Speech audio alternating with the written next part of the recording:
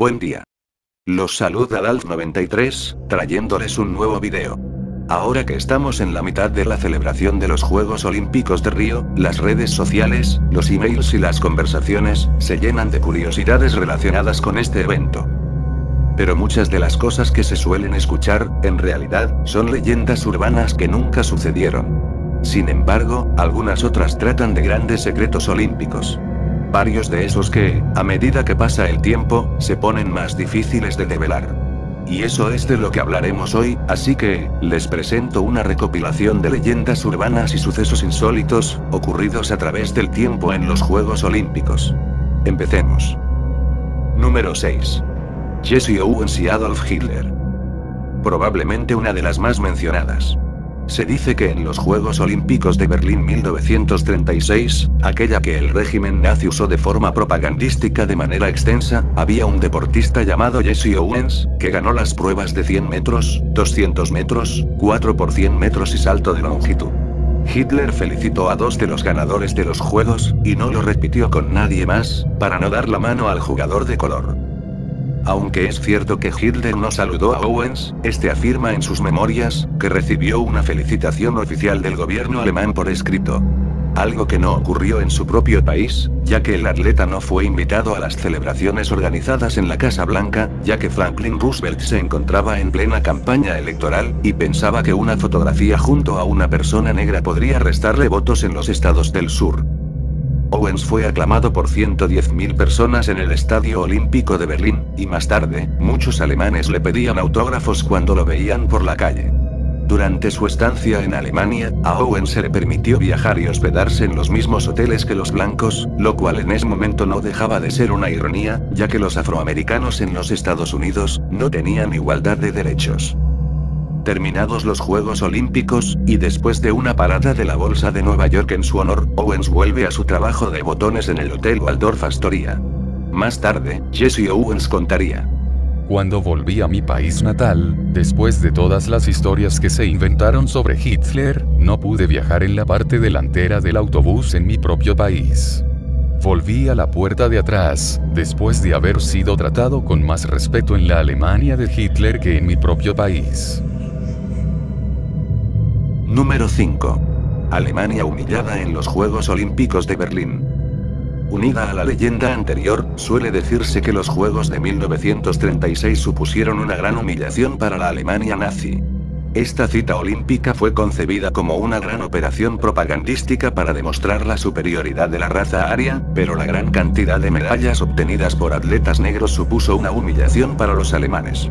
Una simple consulta al medallero desmiente esta afirmación, ya que el país anfitrión obtuvo más metales que cualquiera de los otros participantes, y Hitler se mostró muy satisfecho con el resultado. Número 4. El bulo del origen de los anillos olímpicos. Mucha gente piensa que los anillos olímpicos tienen su origen en una piedra encontrada en Delfos, pero su origen se encuentra en la cita de 1936. Carl Diem, presidente del comité organizador de los Juegos, se le ocurrió una ceremonia, mezcla de antigüedad y misticismo, en la que una llama olímpica rindiese homenaje a los antiguos griegos.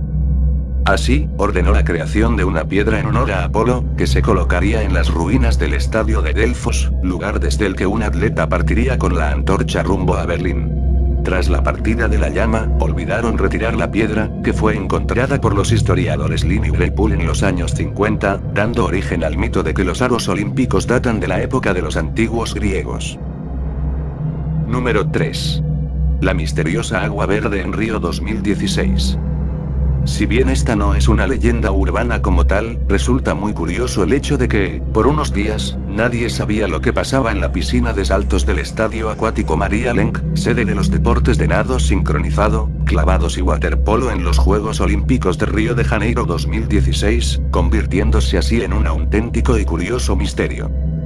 12 de agosto del 2016. Río de Janeiro. El agua verde de la piscina de saltos de las Olimpiadas de Río, se ha convertido en todo un misterio.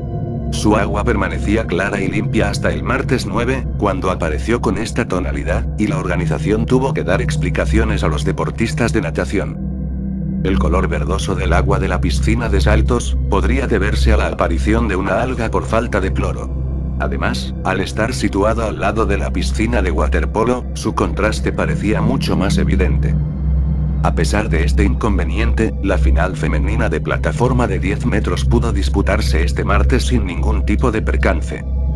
Mario Andrada, portavoz del comité organizador de Río 2016, explicó que el cambio del color del agua de la piscina de los saltos de trampolín, que se convirtió en verde el martes, se debió a un aumento de la alcalinidad. Andrada afirmó en una conferencia de prensa, que según los expertos y el departamento encargado, ese fue el motivo para que luciera un color verde muy distinto al azul habitual, y que también afectó, en menor medida, a la de waterpolo, que está justo al lado, y a la de la natación sincronizada. Aseguró que desde que se comenzó a detectar el problema, los encargados comenzaron a trabajar en el asunto y durante toda la noche se trató el problema para que recuperase el color normal. Aseguró, asimismo, que no hay peligro, riesgo o efecto alguno para los deportistas que compiten. Número 2. El misterioso niño olímpico. Durante el último octubre, celebrando el Día del Niño, el sitio oficial de los Juegos Olímpicos de Río 2016, decidió homenajear a aquellos atletas que, antes de ser adolescentes, se colgaron una medalla, adoptando a su vez el mensaje de que, el mayor evento deportivo, es para cualquiera, sin importar la edad. Es cierto, y los ejemplos fueron varios. Interesante repasarlos, y recordar al nadador japonés Kusuo Kitamura, que logró la medalla dorada con apenas 14 años en Los Ángeles 1932, en los 1500 metros estilo libre. O el sueco Nils Skoglund, que una semana después de cumplir los 14, se regaló una medalla plateada en salto largo, durante los Juegos de Amberes 1920. Pero, de entre todos, existe una foto icónica. Un recuerdo. Hay un niño, una imagen borrosa, y un misterio. Se trata de uno de los grandes secretos olímpicos. Probablemente no conozcamos nunca la identidad del muchacho que hizo historia en el deporte, entrando y saliendo de la escena sigilosamente, casi en puntas de pies. Postales de otros tiempos. Lo cierto es, que durante los Juegos de París 1900, primera edición con el remo incluido entre los deportes oficiales, una de las historias de las que se guardan menos precisiones en la historia, ocurrió. La favorita al título, la dupla holandesa conformada por François Brand y Roelof Klein, fue sorprendida al quedar 9 segundos detrás de los franceses Martinet y Valev, durante las pruebas clasificatorias. El motivo de aquella catástrofe enseguida fue descubierto. Mientras los holandeses llevaban un timonel adulto, Hermanus Brockman, de 60 kilos, los franceses pusieron en esa misma posición a un niño que pesaba la mitad. A partir de allí, el aprieto. Brand, Klein y el propio Brockman deberían tomar una decisión si no querían ser humillados por los locales. Desesperados, los holandeses sabían que debían reemplazar a Brockman por un niño cualquiera. Teniendo en cuenta que en aquellas épocas aún podía inscribirse en el equipo a un participante de otra nacionalidad, no era necesario que la criatura fuese holandesa, lo cual hubiese tornado imposible la misión. Recorriendo las calles parisinas, cerca del río Sena, donde se disputaba la competencia, Brandt y Klein vieron desde lejos a un desgarbado niño, de piernas y brazos largos. Era perfecto. Con toda su amabilidad, y prometiéndole el cielo si acababan venciendo, los holandeses finalmente convencieron al niño que, según cuenta la crónica, pesaba 33 kilos y andaba entre los 7 y los 10 años. Apenas iniciada la competencia, los holandeses salieron al frente. Promediando, los franceses lograron igualar y hasta colocaron la nariz del bote un poco por delante. Remo a remo, hasta el final, las palpitaciones al máximo. Finalmente, fueron Brandt, Klein y el niño de identidad desconocida los vencedores. Los tiempos hablan de la paridad. 7 minutos, 34 segundos y 2 centésimas para los holandeses, contra 7 minutos, 34 segundos y 4 centésimas para los locales. El niño misterioso, que se ganó el cariño de toda la delegación holandesa, fue despeinado una y otra vez, cargado en andas, besado por las señoras y así, hasta llegar al podio para la gran ceremonia de premiación. No recibió medalla, ya que esa tradición olímpica comenzó cuatro años después, en St. Louis. Se llevó apenas unos estuches para guardar cigarros y otros artículos así, de esos que no llaman ni un poco la atención de un niño. Entre el champán y los gritos de Brandt y Klein, el chico campeón logró escurrirse. Se esfumó, volvió a perderse por aquellas callecitas donde horas antes fue encontrado. Nada se ha vuelto a saber de él, ni siquiera su nombre. El historiador holandés Tom de quien descubrió esta historia, afirma que, en realidad, tenía entre 12 y 14 años.